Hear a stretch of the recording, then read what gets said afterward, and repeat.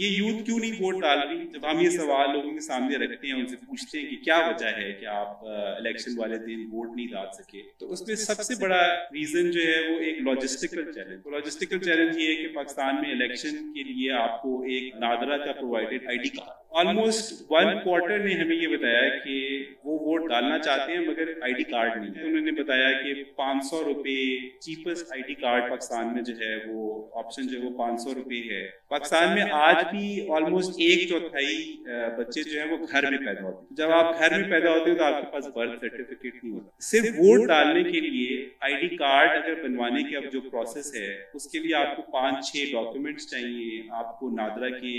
office जाना है multiple times जाना है वहां पर लाइनें लगी हैं क्या वोट डालना इतना इम्पोर्टेंट है कि मैं अपने लिए पहली दफा वोट बनवाऊं